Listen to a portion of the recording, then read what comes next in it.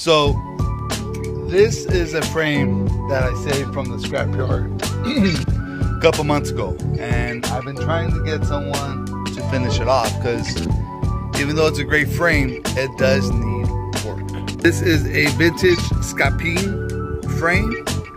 As you can tell, it's pretty much all chrome, and it has a broken rear dropout. Now, I talked to a few people who are frame builders, who are this or that. I go, bro, like, I'll give you the frame.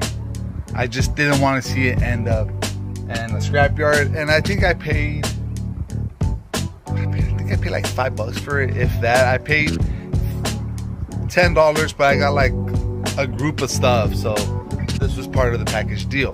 Um, I don't want to see it in the trash. I don't want to see it in um, scrapyard. That's not what I want for this particular frame because it is a really, really nice frame. Now, on that note, this is uh, what that frame would look like if it was in better condition, let's say. Uh, this is, once again, uh, Scapin, and I hope I'm saying that right, uh, frame sets, forks and frame, built up with Campagnolo uh, group set this was a bike that I found at my local swap meet. So because I had this one, um, there's really no point in me trying to fix the other one, and that's why I was trying to give it away to anyone who has the knowledge and time uh, to fix it. But you know, everyone keeps telling me the same thing that too much work for uh, that frame to be able to save it. I don't know. I don't know how much work is involved to save the other frame, but for right now, uh, I'm gonna save it and see if anyone can use it. But uh, back to this fully built one. Let's go ahead and start at the cranks with uh, Campagnolo cranks with uh, pedals. I got a Campagnolo front derailleur, Campagnolo rear derailleur. I got one, two, three, four, five, six, seven speed freewheel a not cassette, it is a freewheel on Campagnolo hubs. Laced to uh, let me see if I can focus on that.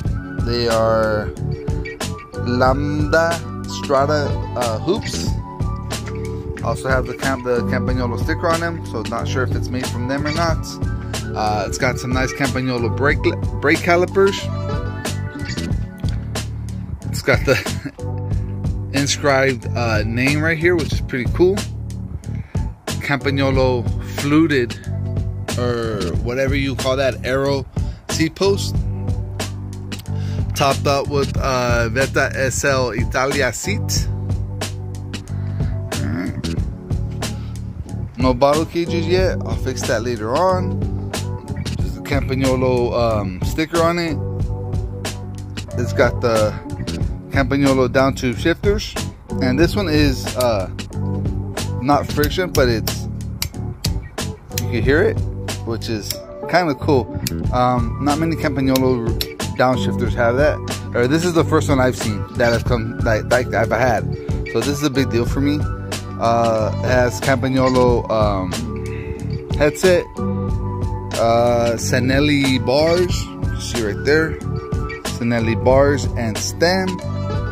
It's got this really cool red and black uh, grip tape, which I think kind of goes with the bike, so I might leave it. But um, I don't know. It's got the white hoods with the Campagnolo um, levers, matching front caliper, and then uh, matching front hub and wheel the worst part for me is I didn't want new projects. I didn't want new things to worry about. But you know, I always say this: like I'm a sucker for good bikes at a good price, and um, this is this was one of them where I just couldn't say no. Uh, it does add to my budget. I'm sorry, it does add to my project list, even though this was just uh, tires and a cleanup. But as you guys know, I have tons of projects already. So I'm kind of kicking myself in the butt for getting it. But at the same time, it's an awesome bike and uh, it deserves to be uh, restored and ridden and hopefully I can make that happen for this particular bike. Yard Sale Cycles out.